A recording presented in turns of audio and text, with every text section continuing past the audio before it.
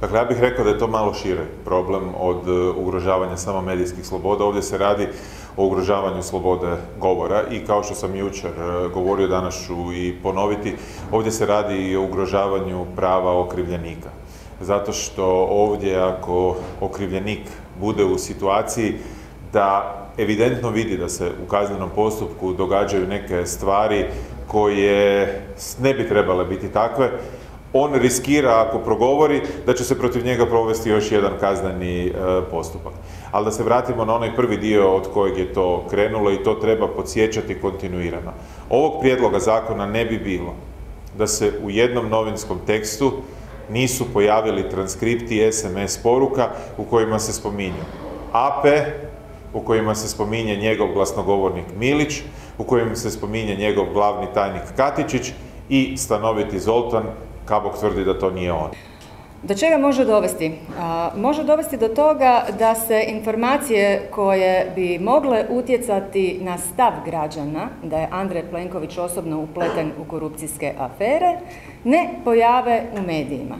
Naime, institucije čak i kada funkcioniraju kako treba, a naše, nažalost, to više ne mogu, djeluju u nekom vremenu, djeluju relativno sporo. Jel? Do podizanja optužnice zna proći i nekoliko godina. Do pravomoćnosti presude možda i desetljeće. Ono što Andreju Plenkoviću treba je vrijeme. Dakle, vrijeme u kojem javnost neće dobiti na uvid informacije o razmjerima korupcije u koju su moćeni i upleteni njegovi ministri, članovi njegove političke stranke, a da kada vidimo inicijale AP, onda znamo da je u sve te korupcijske afere, izravno, neizravno, kao nalogodavac ili kao sudionik, upleten i premijer osobno. To je ono što može HDZ koštati rezultata na sljedećim parlamentarnim izborima i ovo je čisti, nedvosmislen, jasan pokušaj da se, da se to spriječi. Ali kada me pitate do čega to može dovesti, može dovesti i do puno opasnijih posljedica, a to je da će novinari biti u strahu, mogu li objaviti nešto što im je netko dojavio. Hoće li netko pretresati njihove laptope, njihove mobitele, hoće li se istraživati s kime se druže, s kime surađuju. Novinari nisu ti koji stvaraju informaciju, oni je samo objavljuju od onih koji informaciju imaju. A to su upravo osobe koje su navedene u novom izmišljenom članku 307a kaznenog zakona i to su zapravo zviždači iz sustava. Svakako treba podržati prosvjet HND-a, oni već dugo upozoravaju na štetnost e, Lexa AP. Mi ne možemo glasati za taj kazneni zakon e, zato što je spojio dvije nespojive stvari, to je ucjena zapravo zastupnika, da imamo mogućnost glasanja s dvije ruke, jel s jednom bi dignuli da, drugom protiv, nemamo tu mogućnost, to je spajanje dva nespojiva e, prijedloga, što je loša demokratska praksa. Ali nastavno na to, e, jučer predložene izmjene kaznenog zakona koje uvode kazneno djelo neovlaštenog otkrivanja sadržaja izvidne i dokazne radnje, odnosno predviđaju kaznu od tri godine zatvora za curenje informacija u istrazi, predstavljaju ne samo napad na slobodu medija, nego i pravo javnosti da bude informirana o procesima od javnog interesa, posebno onima koji se tiču korupcije visokih dužnosnika. E, ovakav zakon je samo još jedna kockica ili mogu slobodno reći i finale u ovoj HDZ-ovoj stranačkoj državi. Još bi samo falilo, ne znam da u taj zakon stave da se oduzima imunitet oporbenim zastupnicima i onda su doslovno svi ušutkani. Ovo je jedan doratan korak prema totalitarizmu iz razloga što je ovo jasno ko dan da je ovaj zakon zapravo zakon AP, odnosno zakon Andrej Plenković, gdje se na sve moguće načine želi obstruirati izlazak bilo kakvih informacija koje se tiču Andreja Plenkovića i njegove povezanosti sa aferama, sa kriminalnim aktivnostima, pogotovo vezano na njegove ministre, državne tajnike i sve one osobe koje on postavljao po ministarstvima, agencijama ili državnim poduzećima kao što je Hrvatska elektroprivreda.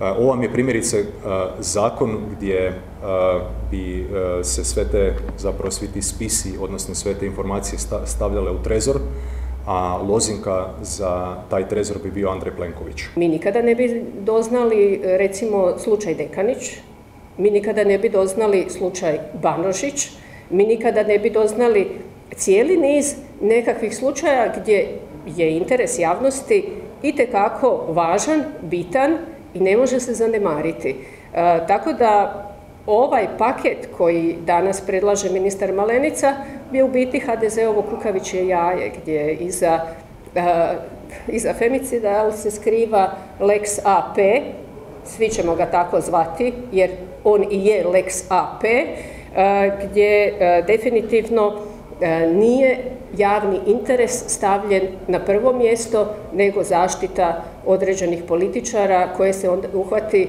ili sa prstima u pekmezu ili u nekakvim e, radnjama e, koje uistinu su kaznena djela. Ono što želim reći da je ovako predložene izmjene su točno ono što smo od Plenkovića mogli očekivati, da se niti Machiavelli ovakvog poteza posramio ne bi. Taman kad misliš da si doživio najgore što si mogao od njega, naš domaći Plenki Aveli se spusti na novu razinu licemjerja i podmuklosti, pa u iste izmjene zakona strpa navodno rješavanje vrlo ozbiljnog problema femicida u hrvatskom društvu skupa sa ugnjetavanjima medijskih sloboda. I misli da će time što staviti oporbu u nezgodnu poziciju, jer kako ćemo mi glasati protiv nečega gdje se navodno rješava femicid. Obzirom da izmjene koje se tiču femicida su iznimno manjkave, nepotpune i ne rješavaju problem, a istovremeno se želi ukinuti novinarsku slobodu da ne bi evo novinari otkrili entu aferu po redu HDZ-a, Klub socijaldemokrata nema apsolutno niti trenutka sumnje da ovakvom prijedlogu zakona treba glasati protiv i upravo to ćemo i napraviti. Njemu je desetaka, nekoliko desetaka ministara završilo sa optužnicama, pritvorima, zatvorima, da će on vjerojatno učiniti sve što je u njegovoj moći da se to ne događa u super izbornoj godini. Jedini za njega moguće, za njega jedino moguće rješenje, s obzirom da je toliko katastrofalno birao svoje kadrove, jest da on utjera strah u one koji mogu javnosti pružiti informacije u kakvom kriminalu i u kakvom korupciji se nalaze njegovi ministri i njegovi odabranici. Pa kad me pitate je li moguće da se to dogodi, ne. Zašto? Zato što se radi o goloj koži predsjednika vlade. Jer kada bi izašlo sve u javnost, što rade i što su radili njegovi ministri, njegovi članovi užeg kabineta, vjerojatno bi bio lansiran na Mars. E, imamo potrebu reagirati još jednom iz razloga jer vidimo da HDZ zapravo e, zauzeo više manje sve institucije demokracije, sve osim institucije predsjednika naravno i sada se napada i zapravo sloboda medija. E, iako je premijer možda malo reterirao u smislu e, promjene dijela e, zakona gdje novinari neće biti podložni dakle kaznama, ono što i dalje ostaje činjenica da oni koji će biti podložni su glavni urednici koji nisu, koji nisu novinari, svi oni sa kojima novinari eventualno pokušavaju provjeriti te informacije, te ostali dakle sudionici na, na, do kojih ta informacija dođe. I samim novinarima će biti zapravo težano doći do takvih informacija koje jesu od interesa javnosti. Dakle, nama nije sporno to da treba naći ravnotežu između javnog interesa i interesa postupka, odnosno zaštite, zaštite sudionika postupka, ali to je puno kompleksniji problem i, i ne može se ovim ad hoc rješenjem koje je ponudila, ponudila vlada taj problem riješiti, a pogotovo stoga što znamo da je taj e, ovo rješenje motivirano upravo, upravo time da se zaštiti E, curenje informacija vezano uz afere koje se uglavnom vežu uz vladajuću, uz vladajuću stranku, odnosno uz HDZ. Uz HDZ.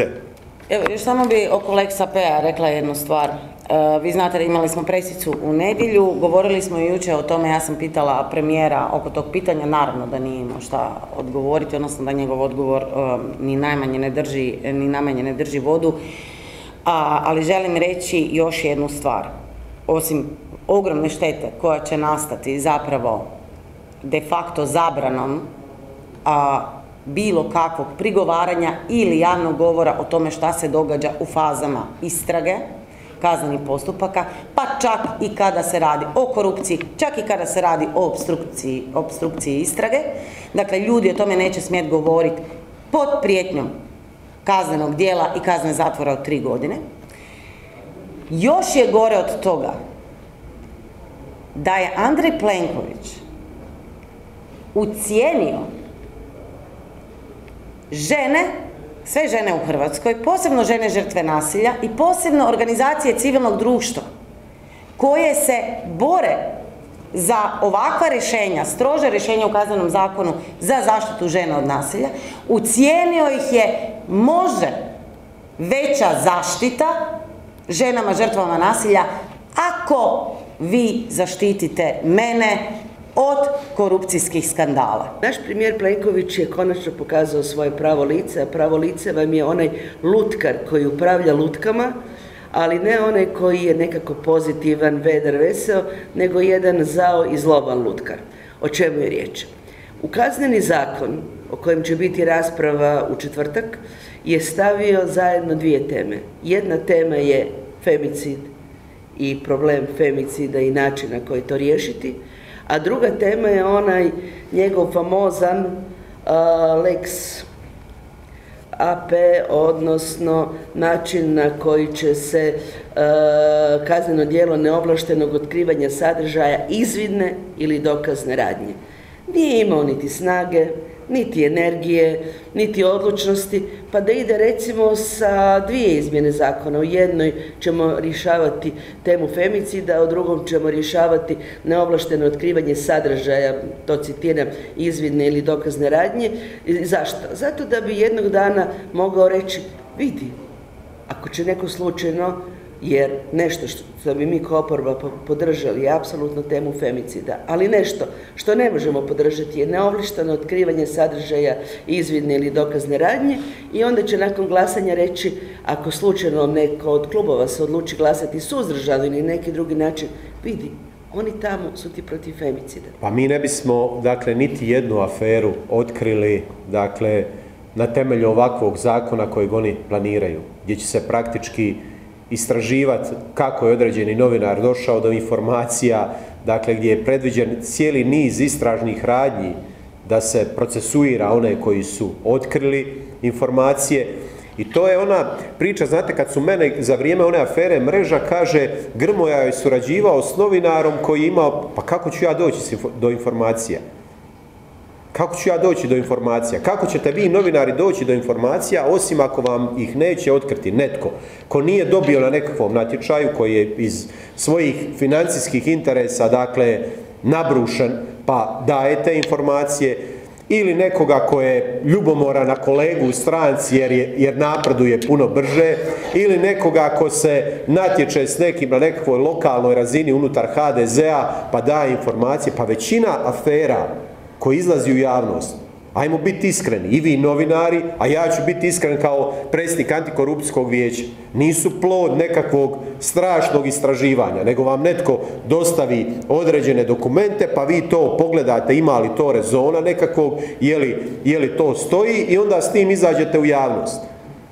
To su smiješne priče kako se dolazi do informacija. Dakle, naravno da ovakvim zakonom se nastoji to spriječiti, da informacije izlaze u javnost, da, da se otkrivaju afere vladajućih i to je interes Andreja Plenkovića. Njega je zabolilo ono što, izašlo, što su izašli njegovi inicijali AP, on je jučer to rekao i čak je jednu televiziju prozvao kad je bilo uhićenje ministra da se tada špekuliralo određenim ovaj, porukama za vrijeme toga prijenosa u živo. To je ono što je njega zabolilo.